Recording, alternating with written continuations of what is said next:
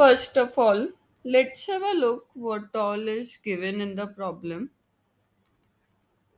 Given is constant